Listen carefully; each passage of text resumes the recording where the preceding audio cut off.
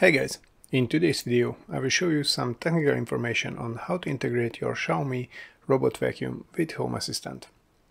If you're interested, keep on watching, but first, if you're new to the channel, my name is Laszlo Merza and this channel deals with home automation, home networking and occasionally with related stuff like uh, DIY electronics and even a little bit of 3D printing. Anyway, let's continue with today's topic.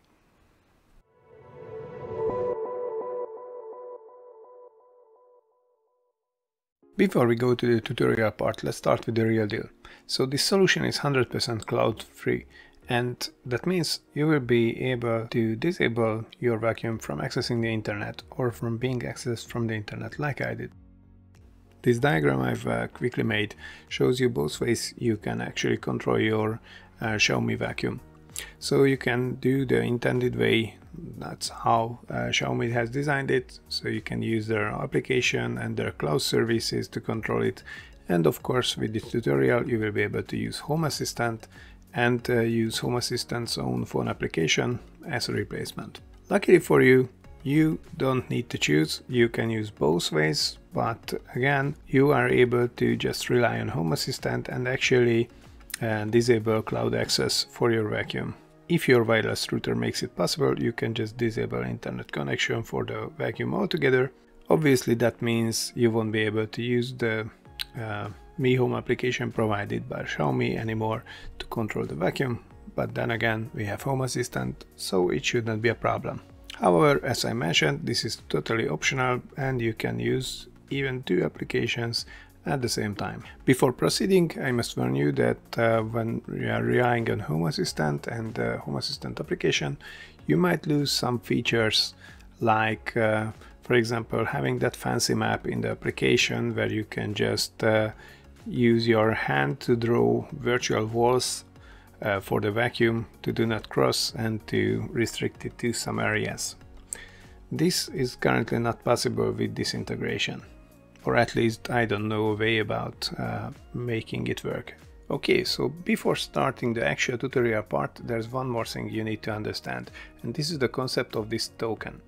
So the token is like a string, hexadecimal string, a unique identifier for your device that gets, that uh, gets created uh, during the first setup of the device, which means you obviously have to use the phone application at least once when you unpack your device, when you turn it in the first time.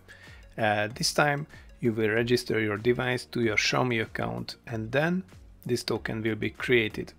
Now this token for us is very important because uh, this is used to control the device. This, this knowledge of the token means that uh, you are authorized to control the device and because of this, you will have to enter this token into your Home Assistant configuration as well.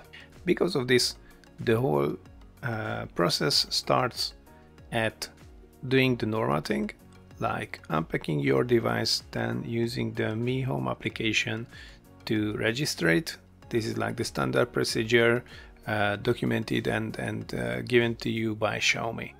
And uh, whenever you are done with your registration, and you are able to uh, control the device via your uh, smartphone, then we can start with the actual integration into Home Assistant. So let's get to it. So as I briefly mentioned, we will need this token for uh, communicating with the device. Just like in the case of the cloud communication, it is also required from Home Assistant to have it have this information at uh, our disposal. So we will need to extract it uh, from Xiaomi's cloud, and by extracting, yeah, I mean downloading it. So for that, you will need a tool which is called Xiaomi Cloud Token Extractor. So this tool is open source, written in Python. You can check out its source code uh, if you are uh, interested how it works. And uh, to be honest, for the first time, I was like, uh, this requires me to provide my Xiaomi username and password. That that is not something you really like to do. To give your username and password that belongs to a cloud service, and then you just provide it to some third-party software. But then again, luckily, luckily for us, this is free software. Uh, also, if you want to go super paranoid, you can just uh, change your password temporarily. Uh, use this software it takes like two seconds and then change the password instantly back. So Xiaomi for, provides a nice uh, and convenient interface for it. So it should not be a problem. But then again as far as my Python knowledge goes I check this software and it looks safe and also if you're not familiar with the author well he seems to be a respected member of the Home Assistant community with a lot of uh, uh, repositories and, and uh, tools uh, released on GitHub. So I would say, yeah, you can trust this piece of software. But then again, if you feel so, do your own investigation. Anyway, it worked for me. So in my case, I was using Windows. I, I just uh, downloaded this exe file. This is like a command line tool. You start it, it will ask for your username, your password, and your Xiaomi server region, uh, which uh, will probably also China mainland uh, in your case. Uh, this is what uh, usually works with robot vacuums bought from Banggood or GearBest or whatever. So this is all this is all that you need and you will end up with a list of your registered uh, Xiaomi devices and uh, along with the tokens. So the token is just a string, you need to copy it from there and then you will uh, be able to go to the next step, which is uh, the actual Home Assistant integration. You add the integration the usual way. So you just go to configuration, then integrations, and then add integration. So the integration you are looking for is called Miio, as in Xiaomi Miio. So this is what you need to add. And this will also ask for your uh, Xiaomi Cloud username and password or alternatively you can configure the token directly. Since I decided to instantly uh, change my, my uh, password after uh, extracting the token and I just want my uh, Xiaomi account to be left alone, I decided to go with the token instead and uh, this way I didn't have to provide my username and password here. So this is just like this configure manually then you click submit and this is the IP address of your device. Uh, the robot vacuum I mean. And uh, here you provide that token. So the IP address is a tricky thing because uh, it can change. Uh, once your device has been uh, registered and started up for the first time you will uh, see and um, assign the IP address on your router and uh, you can just uh, use your router's configuration to have that uh, IP address permanently assigned uh, to the uh, vacuum. I'm telling you this because uh, normally in case of network devices you can um, provide something like static IP configuration or something like that but the vacuum is DHCP only so we, you will have to configure the static assignment on your router you cannot open like a magic uh, I don't know configuration page or API or whatever of the robot vacuum and tell it to use a specific IP address. Anyway, once you have your IP address and token here, you can just click submit and you will end up with a device and an entity in uh, as part of your integration. So actually, if you go to your device, uh, its name will depend on um, what uh, your actual uh, Xiaomi model is and then uh, you will be able to use this in your normal automation process in Lovelace or whatever. So when it comes to Lovelace, there's one more thing you need to do because uh, out of the box Home Assistant uh, doesn't really support um, these uh, vacuums via um, a card or something like that. So you can uh, actually rely on on the info you can uh, fetch from the device slash entity. But uh, yeah a custom card would be nice. And luckily for us there is a custom card.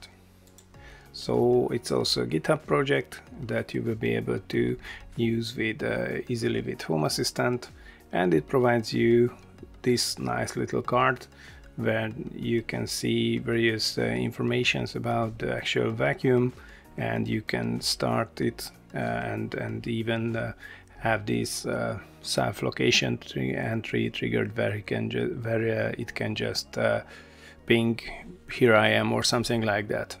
So if you lost it somewhere in your house to have this custom card you have to set up a Home Assistant community store but once you have that your job is quite easy so even though the documentation says something about the plugins tab, there's no such thing currently in the Home Assistant community store, but you have to go to front end and uh, you will have to go to explore and add repositories. Now I already have this repository, so just uninstalling it quickly.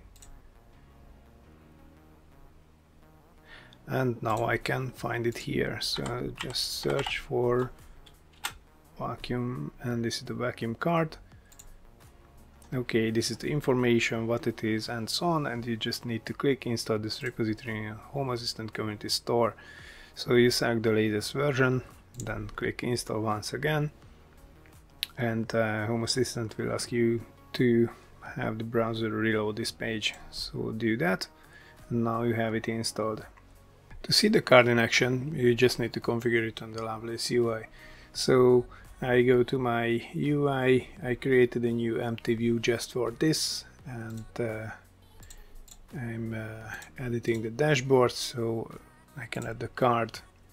Now I scroll down to the bottom and my custom card is here. So I'm just selecting this. Uh, this is the image you could see on the GitHub page of the custom card.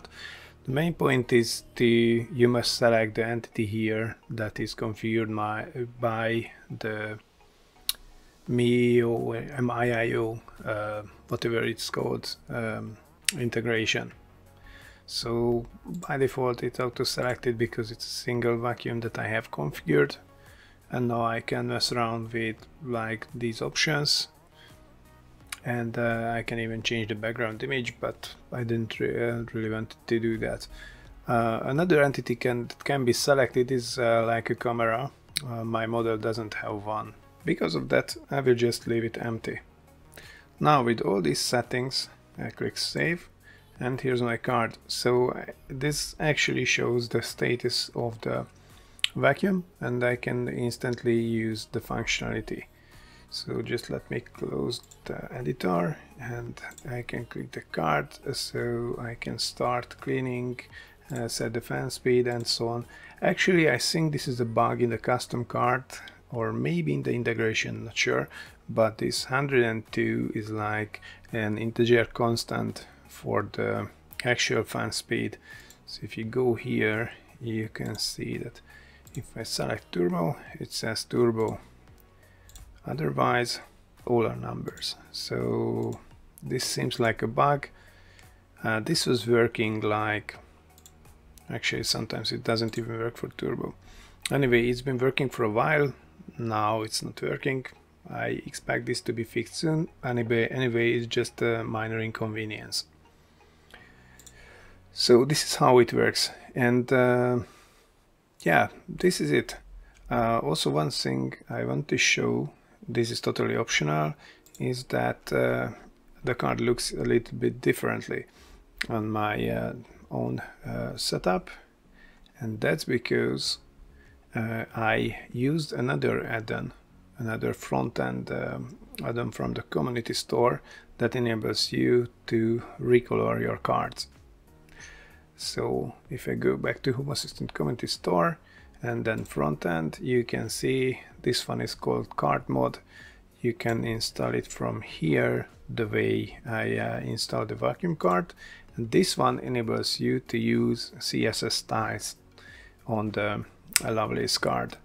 Now to do that I can just show you what I did with mine. So I go here and then edit dashboard and this one and if I go to the code editor you can see I have this extra this is a functionality coming from that card mod um, plugin or whatever should I call it and this enables me to change the background color but then again this is totally optional. Okay, so whether you decide to go with the default look or change it, it's totally up to you, but this way we have our vacuum configured and ready to be used from Home Assistant. So as you saw with a few easy steps, we managed to connect our Xiaomi robot vacuum with the Home Assistant and managed to control it and monitor it. How cool is that, right? Now I'm not promising you that it will work for every model, but uh, according to the developers of the integrations, it should work with many models, so it should worth a shot. Anyway, uh, time to close this video, and I really hope that uh, it was useful for you. And if you haven't subscribed to the channel, please consider subscribing. I promise it will worth it. And yeah, I hope to see you next time, next week, with another video. Bye.